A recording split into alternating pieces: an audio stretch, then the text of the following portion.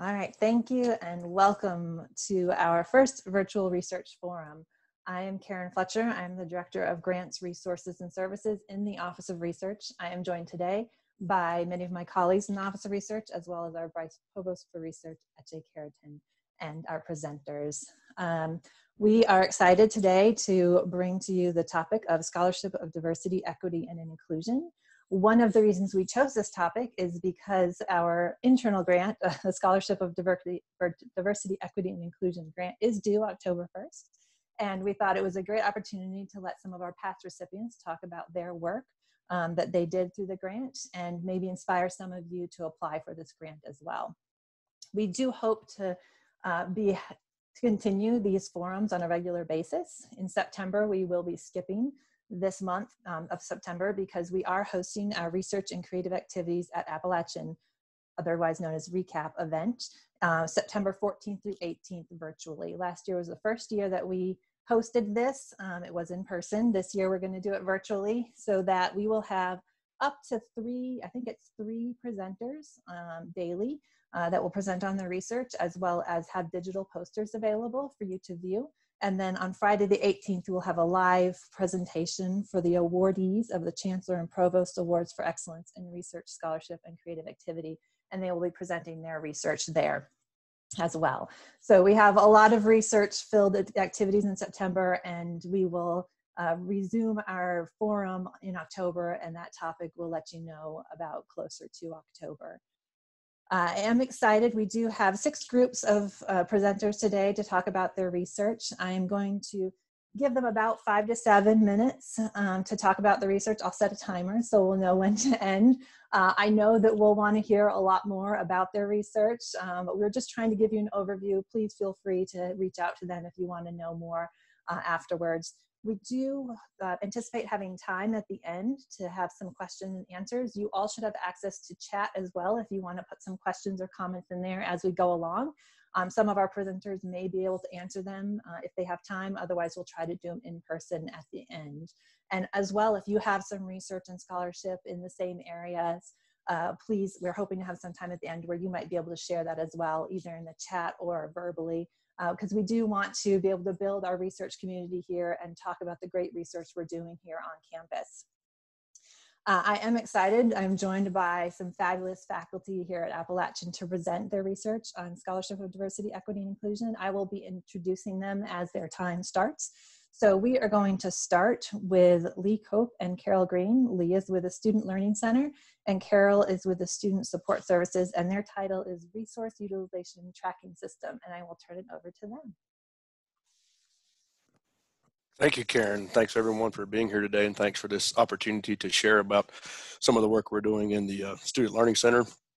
I more or less inherited this project from the former executive director of the Student Learning Center.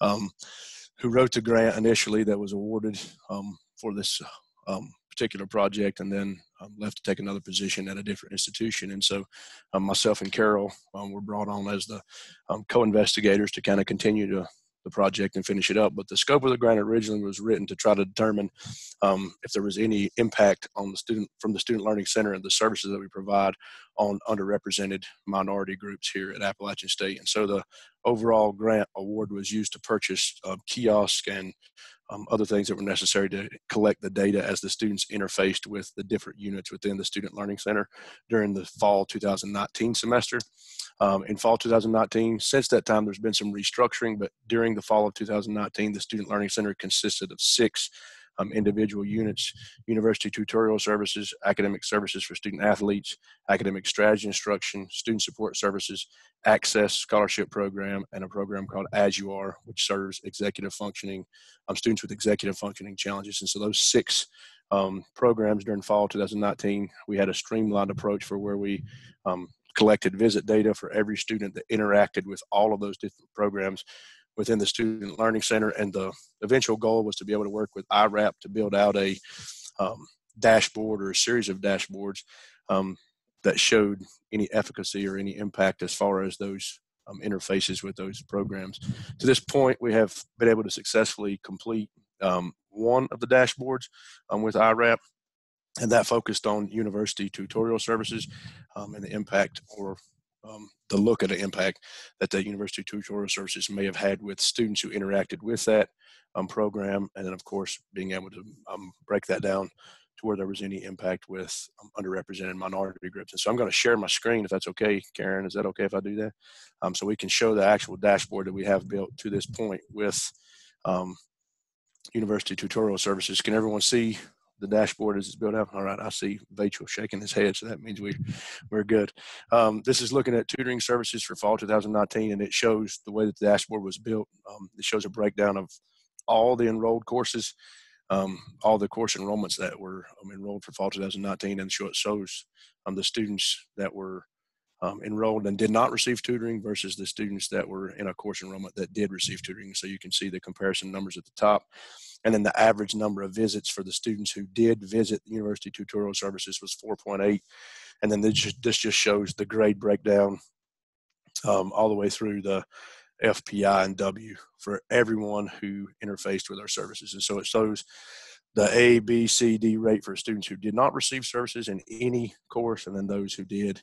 Um, that's just an overall breakdown of the services. You can see we had 1,707 individual student contacts for an average number of 4.8 visits to break that down a little more, we're going to look um, here is a breakdown of our embedded tutoring model, which on campus is called lead tutoring, focuses on chemistry courses here at Appalachian State University. We had 913 course enrollments, so 913 students who were enrolled in a chemistry course that did not access university tutorial services, and then 916 students who did and the average number of visits were six. Important thing for us, whenever we were looking at this, just generalized data, was that it showed that the students who attend embedded tutoring attend at a higher rate versus the students who come to our learning labs and or our drop or our um, small group tutoring. So it helps us to see that um, as far as engagement and student engagement is concerned, the embedded tutoring model that we have in chemistry garners more visits from students than our other two platforms. And so one of the things we're focusing on in the Student Learning Center adjusting is um, trying to develop a way where we can have more of the embedded tutoring model in other courses rather than just in the chemistry course. The next shows a breakdown for Hispanic students who are enrolled in those same chemistry courses there were 79 students who identified themselves as Hispanic that did not receive any services, and then 81 that did. And you can see the average number of visits is 7.7. So the students who identify themselves as Hispanic students actually use that embedded tutoring resource more often than the students in general use that resource. And then you can see the success of those students. So it shows us that the students who identified as Hispanic and participate in the lead tutoring perform significantly well or better than the students who have that same identifier and who do not participate. They earn more A's, more B's, fewer C's, D's, F's, and W's across the board. So it shows the success in that regard as far as students who identify as Hispanic students. The next is breaking it down a little more. Um, we're looking at um, folks, students who identified as Black or African American. There were 28 students enrolled that did not receive services, 32 that did, and their average number of visits was 5.4.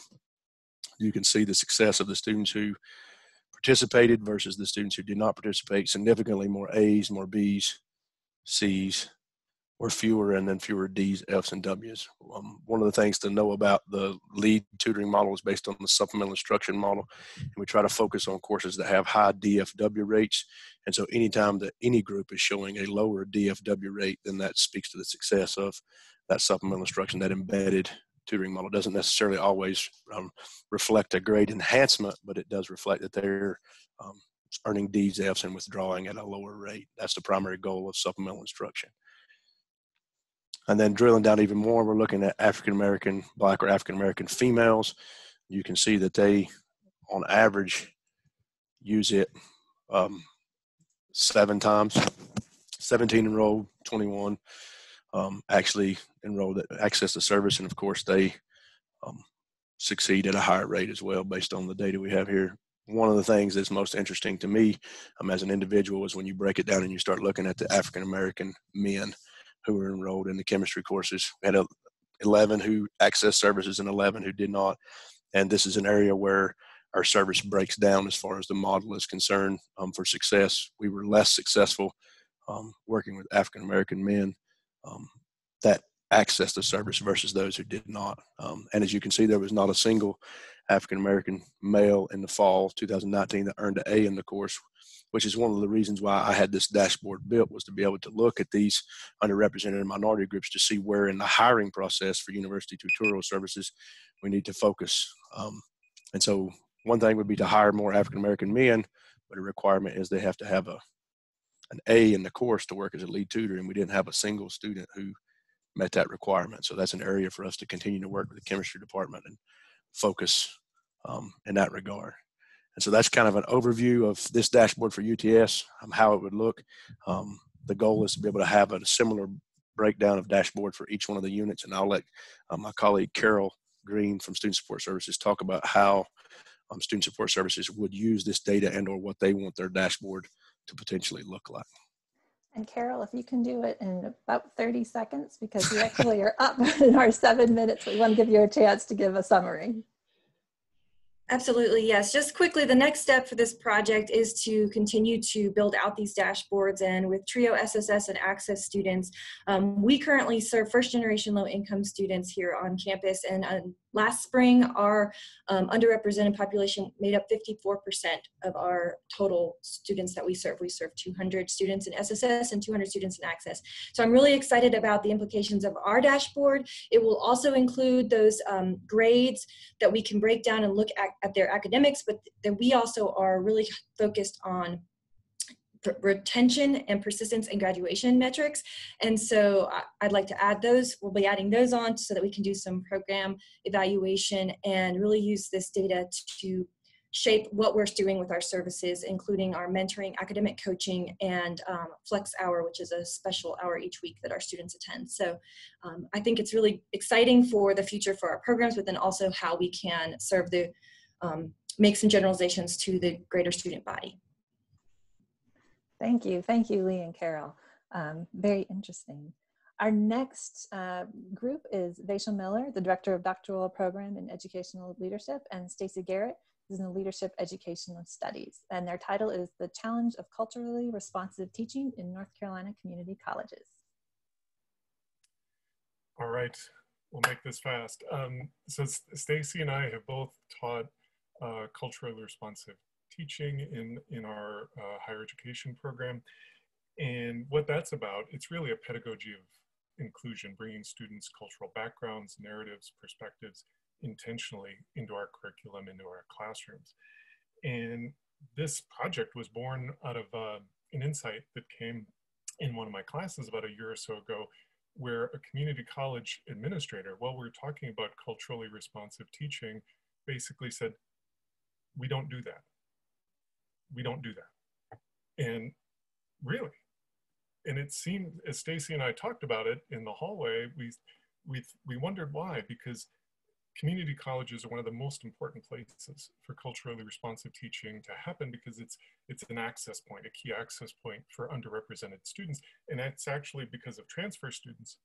It's where it's an important feeder for students of color into uh, Appalachian as well. So our inquiry was about the barriers, the challenges of culturally responsive teaching. We did interviews. We interviewed 14 faculty and staff at two uh, regional community colleges.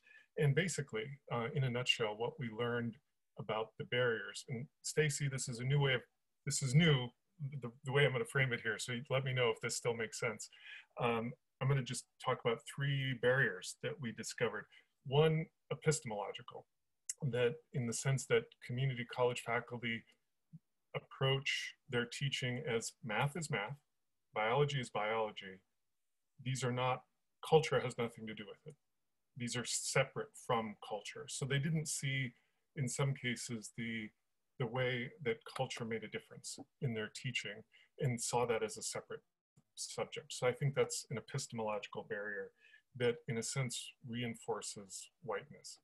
Um, there's a cultural barrier and that Stacy and I thought a lot about uh, what's called colorblind ideology. Basically, what people would say is we need to treat everybody fairly. So we can't start talking about one person's culture without talking about everybody's culture. So we need, because we need to treat everybody fairly, we're not talking about any of this. And that became a kind of, that colorblind ideology which I think is akin to an all lives matter perspective, is pretty, pretty widespread at the community college. Also at a cultural level, we learned a lot about how community colleges hiring practices, they reflect, they hire, of course, instructors from local communities, which reflect the dominant cultural values in rural North Carolina. So that's another kind of challenge to culturally responsive teaching. And the third practical one is just in a sense of the resource challenges that community colleges haven't been able to invest in professional development for culturally responsive teaching. A lot of faculty said, we just haven't been trained. We don't know what to do. We don't know what to do. We've heard of this, we're curious about it, but we don't know what this looks like. So whereas places like Appalachian have made a big investment in the pedagogy of inclusion, a lot of community colleges haven't. Uh, there's some emerging efforts, but this is uh, really still beginning to come on their agenda. So that's the nutshell. Did we get it, Karen? Did we get it? Four minutes? Yeah, you did. Just like in four minutes, four and a half minutes. Okay. You're good. Do you have anything to add? You're good? You're wrapping it up? Stacy, what else should we say? Um, I think that that was an excellent summary. um, I think our, our next steps would just be we're in the process of continuing to finish up our data analysis and begin the publishing process. So um, I think what the grant was able to do was afford us um, the opportunity for materials and incentives for our participants um, because that was again another challenge that we saw was that the funding for professional development the ways in which faculty at community colleges are so overtasked um, with everything that there isn't often quote unquote the time to reinvent and reconsider how they're preparing their courses how they're incorporating new materials with also some additional limitations from the community college system level in terms of what can be chosen as the required readings. And all those things are dictated at levels above the the class and course level um, which provides some additional challenges. So I think we have a lot of potential next steps. Um, and I think this was a great starting point for, for investigating this question that has an, a lot of complexities of how and why this isn't happening and what we could do to help support it so that it can happen. Great. Thank you, Vachel and Stacy. Appreciate it. Our next group is um, Will Shepard in University Housing and Leadership and Educational Studies, Brandy Bryson, Director of Inclusive Excellence and also in Leadership and Educational Studies, and Adrian Anderson in University Housing and Higher Education Administration. And the title is Black Male Brilliance, Defining Success of First Year Black Males and Implications for Higher Education. Good morning, everybody. Uh, first off, I would like to say uh, Dr. Bryson wasn't able to join us today, but she's definitely here in spirit. Uh, so we'll begin. Uh, first off, this uh, whole grant came about because I went. I uh, attended a NASPA conference on first generation college students and academic success, and one of the speakers said there is not enough research out there about black males and them being successful instead of seeing the gap in them and their failures in higher ed. He said there needs to be something to fill that gap. Okay, the light bulb went off. Okay, if you're gonna say it, I'm gonna do it. So I partnered with Dr. Bryson and we wrote a grant to um, the Fiddler grant. We won that grant and we started the first round of this uh, grant in the research at HBCUs. And I'm gonna share my screen to talk more about that.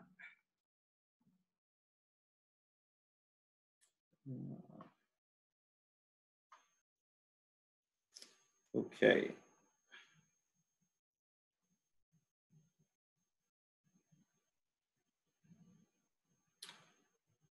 Okay, everybody see that? And so um, what we did, we attended uh, five HBCUs in North Carolina, and uh, we wanted to know what makes Black males on campus successful? Who are they high achievers? Uh, what characteristics do they have to do this? So we selected out of those five HBCUs, uh, 26 males and did focus groups with them at those five universities to get this data. And the biggest themes that came out of this was motivation, persistence, sacrifice, and discipline. Now, there's a plethora of data that went with this, but this is kind of the subcategories that we found out that most had strength in their identity as Black men.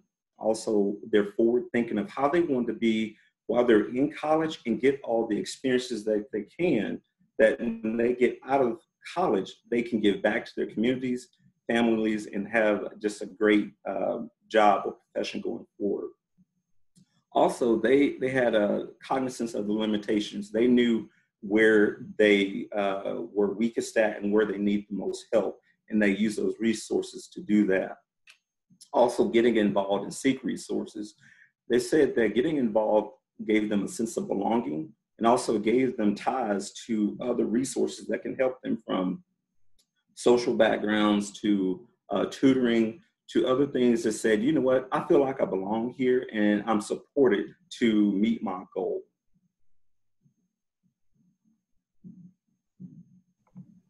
So um, for our focus group, we wanted some really specific questions um, to ask to kind of get a, a, grounding for where to start. Obviously, like um, Dr. Shepard said, um, there's an obvious or a well-researched gap um, with African American males um, on college campuses and their success. Um, but in order to understand what will make them successful, we have to ask them questions and not assume um, we can, you know, tailor their experience based on ours. Um, so I won't go over all the questions, but um, you know, that first one, what is your why? why? What did you sacrifice to be here? I think it's is sometimes an, an oversight on those who are willing to help. I mean, we have first gen offices and we have multicultural student services and all those things, uh, but we don't individualize it enough um, with many groups, but this one in particular, um, understanding that these males, um, they may have been a, a breadwinner in their family, um, helping support, um, you know, helping raise siblings, um, earning money and that kind of a thing, but they want to better themselves and come to college. well, that's that's extremely that's a tearing um, a thing to do. You want to better yourself um, for your community, but you're leaving your community to do that. Um, and that can create an identity challenge um, within yourself. So understanding that um, where our participants were coming from would be very important.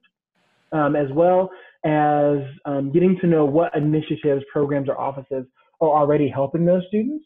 we don't want to reinvent the wheel. So if there's someone doing a great thing for a small pocket of individuals, we want to make sure we connect them and that resource and bring that to um, to the group. Um, and then I think one of the other questions that um, I really liked was asking, um, what would you want to see um, in you know a mentor or a teacher um, if, if they were to come to this group? right? Um, for some people, that's people who look like them. Um, for others, it's you know bringing in offices that they show up to dean of students um, because they've been through conduct, right? But they want to have some more in-depth conversations. So understanding those things will only help um, BMI going forward. So we'll add that the part of these questions, we went from an HBCU for the grant, then we transferred it over to PWIs to see how would they compare and what do uh, black males need at uh, PWI. So we actually started this study here at App State. Um, unfortunately, because of COVID, we had some things to set back. We did our first round of interviews. We did not get the uh, data that we wanted. So we're going to try it again this semester. And then you're probably thinking, well, what is going to happen with all this data? So what we're doing is wanting to start a Black Male Initiative here at App State. So what we want to start with this Black Male Initiative is start app mentoring um, key on that word. So what we want to do is have the men that are black males tour how they're getting through college here. What do they need to be successful? What do they need? Tutoring. They need social support. They need guidance. Whatever that is, we want that to have them to be resilient.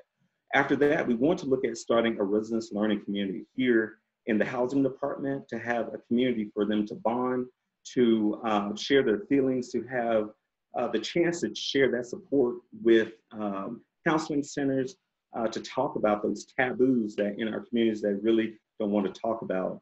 And then overall is to get involved with the recruitment and retention and graduation of Black men here at App State. That's the overall goal of what we want to be doing. So um, that is the gist of it, and we hope this to come to fruition.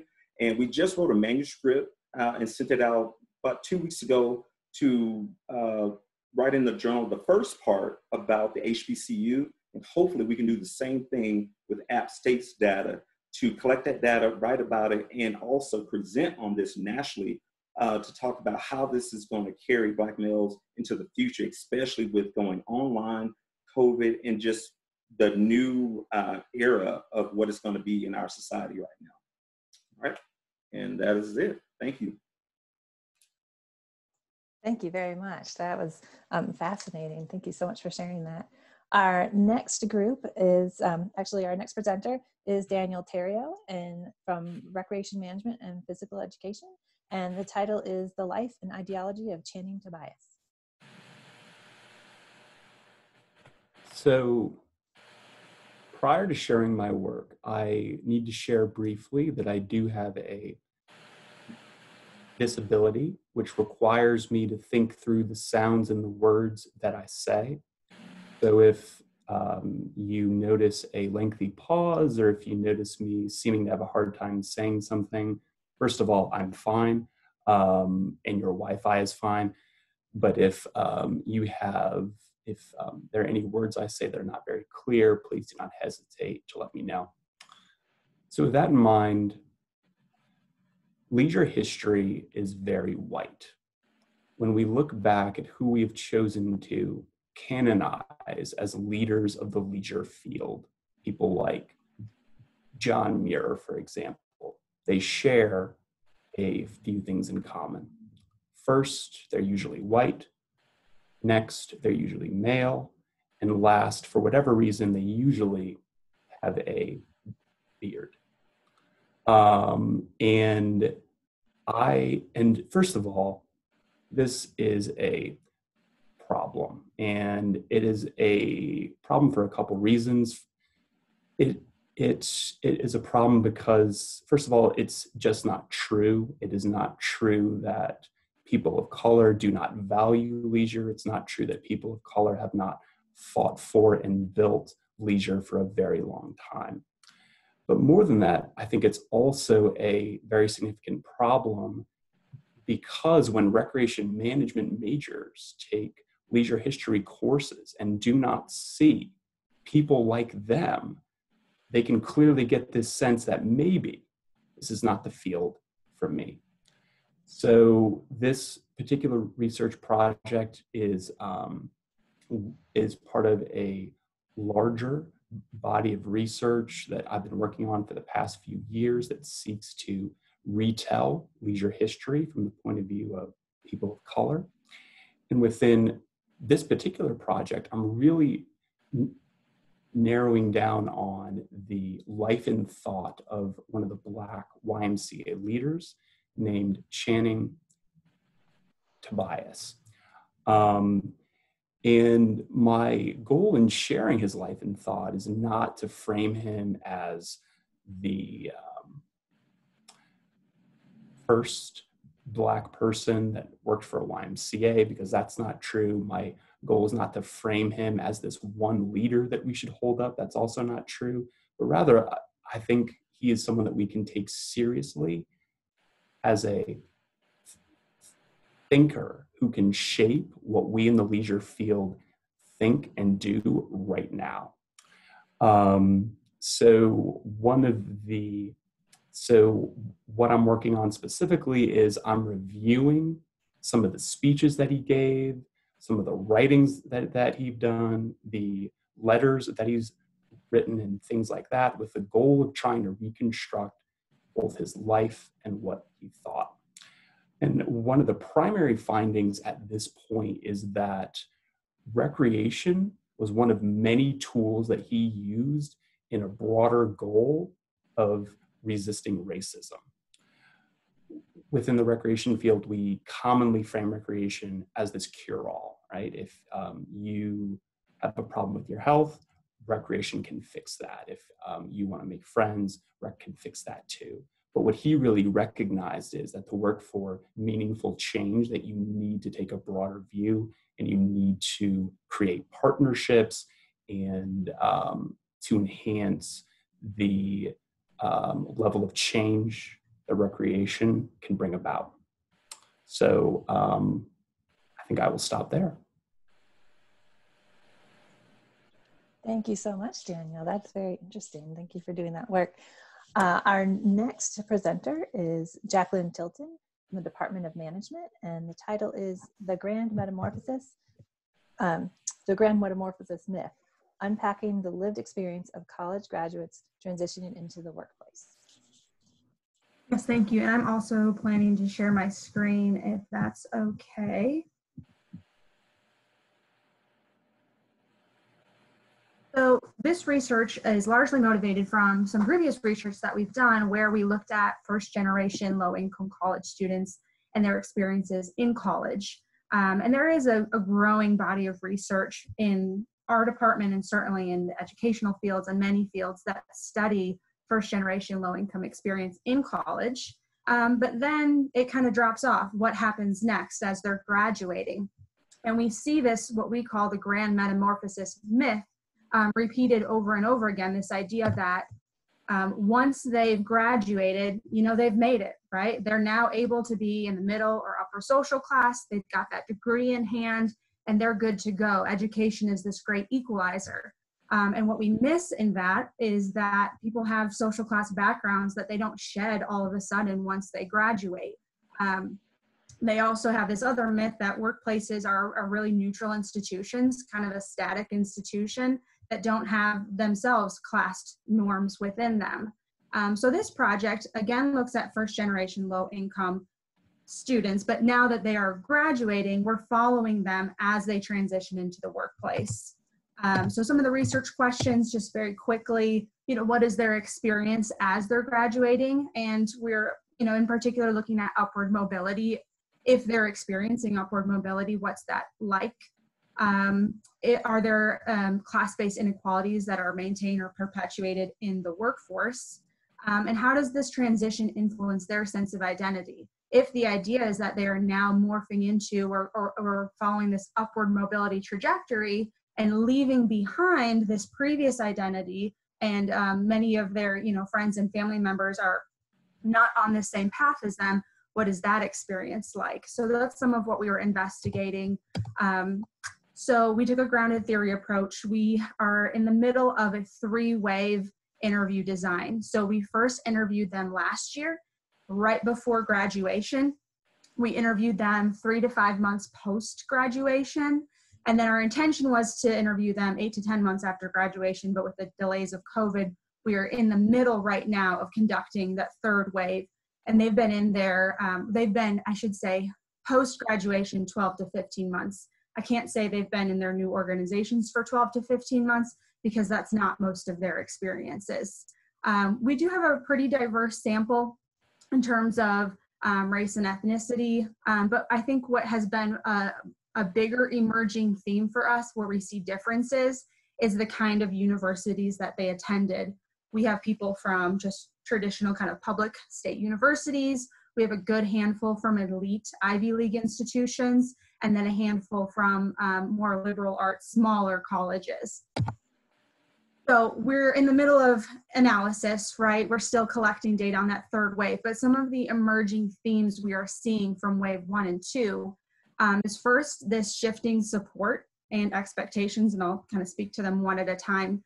So in the institutions, in, a, in an undergraduate institution, they have a lot of support, a lot of programs that are mentioned in this um, hour that we've been talking about has been has been helpful in equalizing.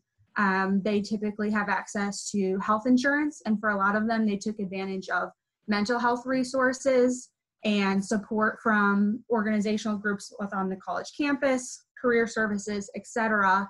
And then they graduate, and all those things just drop off and are all of a sudden without mental health resources, without health insurance. Um, and while they still have some, like career services, it's not quite the same thing as being on campus. So there's this big um, cutoff of resources that they had come to rely on. The other thing is they have mixed expectations between um, the institutions that they're graduating from and their families' expectations. So most of their families are like, you need to go get a job. It needs to be well paying and stable. You need to start start supporting yourself. And the university is typically encouraging to like reach your highest high and maybe go to grad school and keep striving for that dream job, which is um, often in conflict with what their family expects them to do. Um, one of the most interesting findings that we're seeing emerge is what we're calling in this paper a lingering lack of belonging, but a more um, popular phrase might be the a resurgence of imposter syndrome. So we know from all the literature about students entering the college setting that they have this imposter syndrome, but from our sample, by the time they're graduating, they've largely overcome that college imposter syndrome. They're on the brink of getting their degree and they're like, you know what, I deserve to be here just as money, just as much as anyone else. I've earned the same degree as everyone else. And they have this great resilience and kind of overcoming um, that lack of belongingness. And then they get into the workplace and it kind of, again, all drops off and starts back at square zero. They haven't worked in a corporate setting. Their parents haven't worked in a corporate setting. They don't have someone to guide them through the norms and expectations. Um, and then some other things uh, in terms of the differences we're seeing within the sample. Like I mentioned, we're seeing some differences between the institutions that they went to. So we find that people who are went to elite institutions have the most class-based language to understand their position. They're familiar with terms like imposter syndrome. They're they're well aware of the inequality and inequity. Um, those that are at the private private liberal arts schools are often very unaware of class. Um, but because of that, they're often um, less disgruntled. They're kind of blissfully unaware of these class-based inequalities where those of the elite institutions are very aware of the inequality um, that often makes them much more unhappy and um, having to find coping skills to deal with that and try and change the system. Um, and the last one I'll mention is uh, something that Dr. Shepard mentioned with um, there's um, his sample as well, is this idea of wanting to give back. We see this very consistently across gender and across racial groups and across the kinds of institutions um, it's both giving back and paying it forward. So wanting to help the people who helped them, but also help people like them that didn't have the help that they wish they would have had. Um, so the sense of giving back what they have been given is very strong um, and a huge motivator for them. Um, so that's kind of the, the basics of my research. Thank you very much. We appreciate that. Uh, I will move on to our, our last presenter, Belinda Walzer in English, and the title is Locating Practices of Inclusive Excellence Within the Writing Classroom. Great, thank you. And I also have uh, my research partner, Brett Zawilski here, who's gonna help me present. So I'm gonna share my screen really quickly here.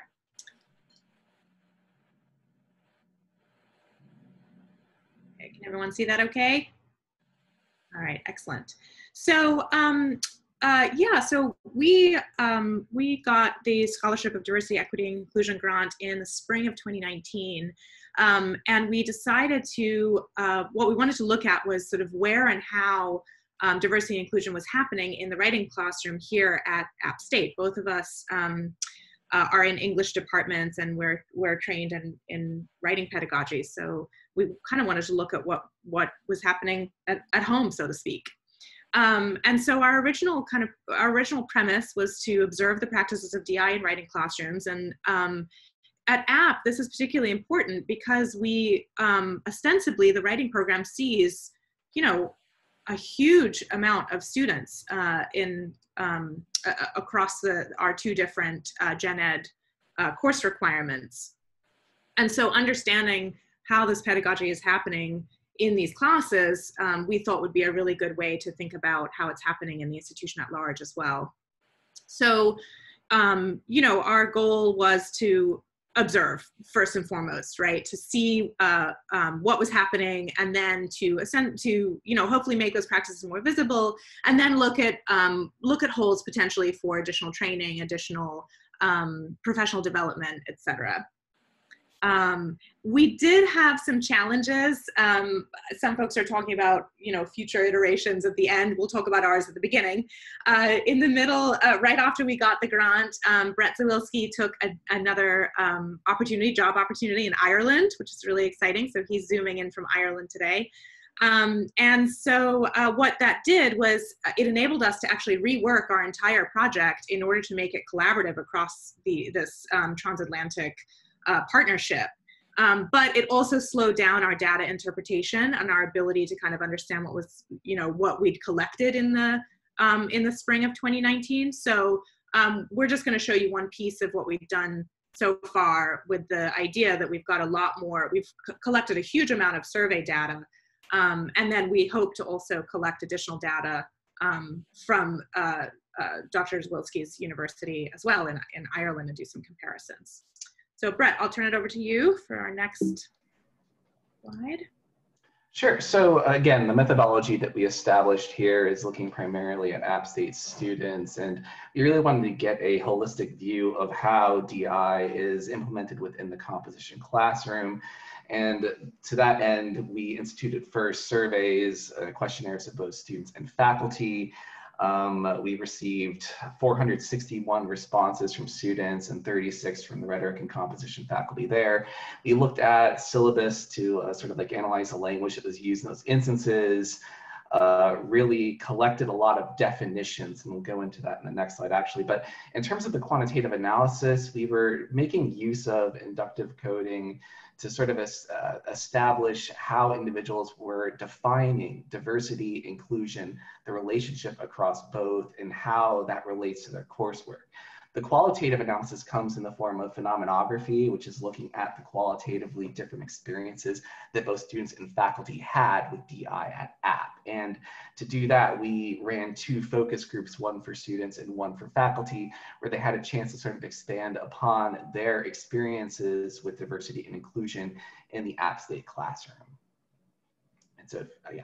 So in terms of the structure of our actual survey, we wanted to gather first demographic data so that we could just aggregate uh, the different years, courses, majors the students had along with their um, sort of, uh, you know, demographic information, their identities, um, really, and uh, try to sort of, you know, disaggregate across the main questions, which were how do you define diversity? How do you define inclusivity? What's your relationship between the two? And finally, we really wanted to dig into this, uh, uh, you know, the relationships between their experiences at App State in general, the Rhetoric and Composition General Ed program, and their specific classes. And this is important because in Rhetoric and Composition, there's a lot of DI as part of the, the paradigm of the moment that we have it built into the field in terms of our statement on students' rights to their own language, and even the more recent National Council of Teachers of English demand for Black linguistic justice. So our faculty have had, uh, using the our inclusive or past tense here, but um, have had a lot of training in terms of sort of like anti-racist pedagogies, approaches towards uh, teaching um, critical race uh, pedagogy, and we really wanted to get a sense of how is this manifesting itself in the classroom? Are these things that are uh, sort of, uh, are they being embodied in those locations? So um, uh, we did get, um, I think it was 462 students respond we use looking at it and kind of interpreting it, um, we decided to look at how students define diversity and inclusivity um, in particular, and like and use that as our sort of grounding um, coding mechanism because um, what we were observing was that these definitions have this tendency to become depoliticized and to mean kind of everything and nothing at the same time. And of course, this is informed by scholarship in the field too. Um, so we revised our question to think about how diversity and inclusion is actually being experienced and defined um, in the in the classroom, um, and then to think of uh, sort of to look at uh, whether or not this institutionalized language has depoliticized these efforts that we're doing with the with the training and everything. Um, so this is a bit of a messy slide, but bear with me. We did we had these. Um, we generated a coding mechanism of yes, no, maybe to hand code the student definitions of diversity and inclusivity, and they were right in definitions. So we went through and coded them by yes, no, or maybe. And yes was recognition of systemic or structural oppression and inequity. Um, no was, you know, language that did not recognize systemic structural oppression or inequity. And maybe was sort of, it kind of did, but we couldn't tell. Um, so a, a, sample of a yes um, from the diversity definition was, um, I define diversity as the, the big mixture of all different people. Diversity is the integration of all people, no matter gender, race, ethnicity, sexual orientation, or religion. It is including everyone and giving everyone the ample opportunity for success. So without going into too much detail, we had a couple of keywords in there that um, uh, that we helped that helped us understand that this this definition gets at the structural oppression. Um, and we have about 30 more seconds for you. Okay, perfect. Brett, do you sorry, want to? was muted. Yeah, sorry, muted. You know, typical Zoom problem. Um, and so that kind of works. The last two slides are just kind of uh, representations of the data that we found in terms of looking at the kind of relationship between individuals who had systemic uh, who recognize systemic injustice, structural racial uh, diversity um, issues, in both diversity inclusivity. Um, and then the final slide kind of shows a matrix of how those overlap. And so right now we're working to kind of uh, sort of determine the correlation between individuals who were able to recognize structural inequalities and diversity uh, as compared to structural inequalities and notions of inclusivity. So looking at their definitions, coding those, and attempting to uh, see what the relationship is between those, what that might say in terms of how the pedagogy and rhetoric and composition is being um, taken up by students. And of course, uh, the end result of this is really going to expand this um, to cross-institutional eventually, but there's a lot of data here to sort of examine how this is being taken up by the RhetComp program at App.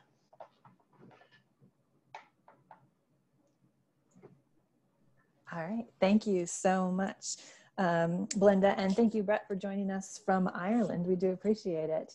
Uh, so uh, I want to thank all our presenters again for this fabulous research that you've been doing, all very intriguing, and I'm so excited that you are continuing on with it. I'd like to open it now for any questions that uh, people might have, or if they'd like to share some of um, the research or scholarship that they might be doing at App that might be relatable or related to the Scholarship of Diversity, Equity, and Inclusion.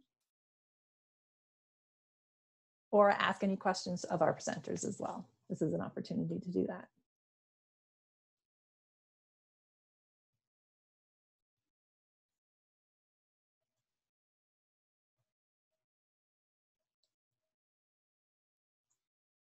Everyone gave such great presentations. We're all thinking about it and I digesting it, which is great. Let me, let me ask one. Sorry, oh, I just interrupted Karen. Sorry, Karen. Um, Jack, uh, Jacqueline uh, or Jackie, so I have a question for you. Do you know if there's a um, there are opportunities for postgraduate uh, connections with the alumni that can be um, built or uh, investigated for the issue that you've investigated?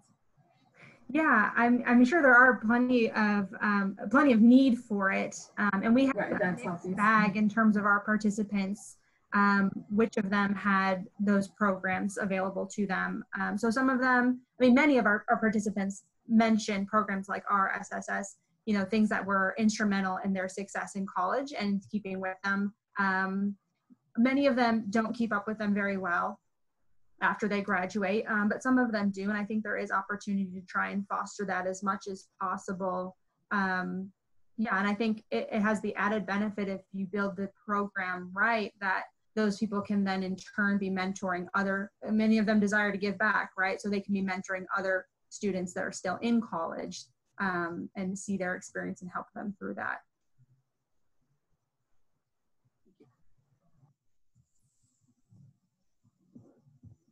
I have a question. Um, so, a lot of you mentioned future research, and some of you mentioned um, next steps for where your research is going, or where you're submitting manuscripts or presenting um, your outcomes. But I think I only heard Dr. Shepard talk about actual programs he intends to implement here at the university or changes. Are there other um, others of you who intend to keep moving your work forward to see actionable, implementable changes in our communities on campus. So Rachel and Stacy, you're also with our community college colleagues. Um, I don't know what sort of work can, needs to be done before we're at that point, um, but I would be interested to know how those of you who are kind of at the end stage of wrapping up phase one of, of this project intend to move forward into actionable items that impact our community.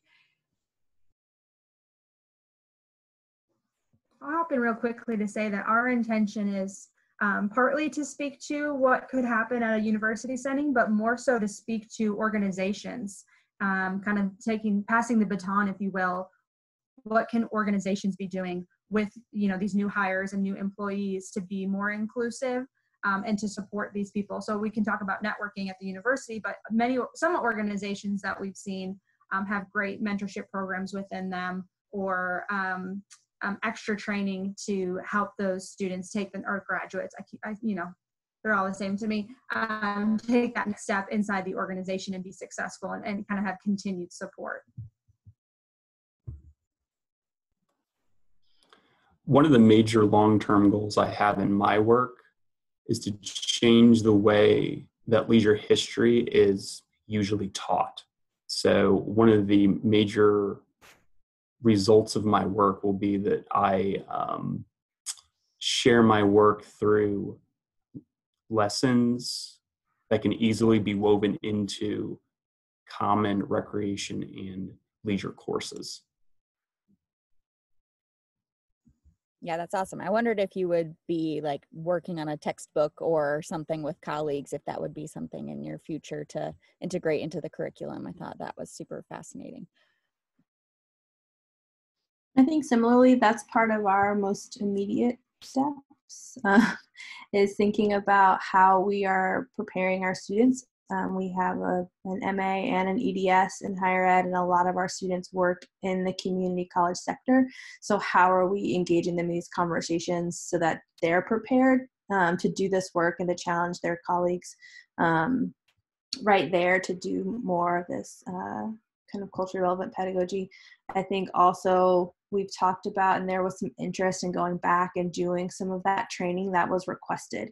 Um, and so, really having that direct impact on our local community college to say, like, hey, thanks for participating in our study. We heard these things, and now we want to help provide the solution and to provide some of what you've been asking for. Um, and then, you know, the way that my mind works, you think and you spiral down where the root causes are for like where does this start and how do we attack kind of those lower levels and, and dig into you know before they get here or the hiring or the structures of the environments? Like so i'm trying to not go down that rabbit hole but um, i think to answer your question katie directly the most immediate uh, response is again publishing and then turning around this information and to how we're we're enacting our practice how are we modeling how are we training and how are we having that most direct connection back can, I can jump in and talk about the writing program a, a little bit as well.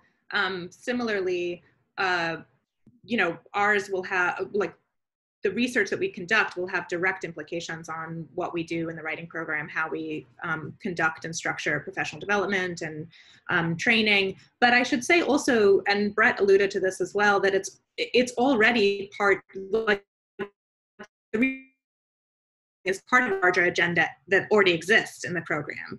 So um, in fact, it's sort of the data collection arm of work that we already know that we're working on and, and building toward. And we have sort of a multiple step plan in the program to really integrate this work much more robustly, all the way from, you know, um, professional development and training faculty through we've we just last year um, implemented a mission statement around diversity and inclusion and then um, working on kind of being able to report this institutionally and in ways that matter in merit reviews and things like that. Um, so this data, I think, should be, we haven't actually reported it to the faculty yet. This was our first, uh, you know, take at kind of making sense of it. But um, I'm looking forward to talking to the, the RC faculty and hearing their take on what we're seeing here as well.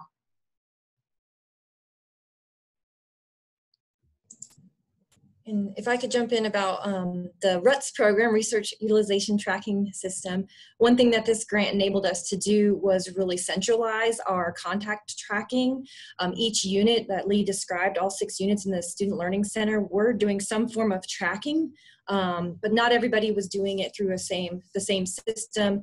And um, i think that th- what this project has shown us is that it's very helpful to have one system gather everything and that then we are also looking for ways that we can collaborate looking at what all the different services that we provide what is most effective what is that critical number what um, what needs to happen to make an impact on the student. And so um, our next steps are to continue to have the staff tracked um, all of their contacts with students so that these dashboards are live updated and then we will get into what I'm hoping, this is my data dream though, um, is to have a real, a real regular process of um, evaluating what we're doing. So um, not just the advisors will check on there, you know, when they think about it, but more, okay, you know, in July and in December, we have regular full meetings to really dig into the data and figure out what are we doing, what's making an impact, and what do we need more of, and where can we find that collaboration across our units. So that's, I think, um, our hope for our next steps too. Um, thank you all of you for answering that. I just find it super exciting um, and I'm so inspired by all of you and all of your work. And I think I speak for the entire Office of Research when we say that we would love to talk to you more about your work and help you fund um, future steps of your work if you need that support. So if you're interested in seeking additional funding um, for your work, please reach out to myself or um, Sid Zester um, on, the, on the call as well. And we would love to talk to you about how we can support you moving forward. So thank you. Yes, and thank you, Katie, for that perfect segue into, um, um, we really do thank all of our presenters um, for the work you're doing and for presenting here today. Uh, and also we are, if you are attending today, we are gonna send you just a sample of a few general um, grants that are out there on diversity, equity, and inclusion it just is scratching the surface. So if you are interested, as Katie said, please reach out to us, grs at appstate.edu, uh, because we can take your topics and really match them with some of the funding opportunities that are out there so we can continue to gain um, knowledge of, of this area. Uh, we thank all of you for attending today. Thank you so much for making um, this first forum a success, and we look forward to continuing these conversations. Uh, again, closer to October, we will let you know what our October uh, topic is, and please join us in September, September 14th through 18th for our recap event to hear more research presentations from Appalachian faculty, and you'll see information about that uh, continue to come out through our um, our Google groups and our announce system and our social media. So thank you all. Thank you presenters again and uh, keep gaining knowledge and we will see you at another time. Thanks so much. Bye-bye everyone.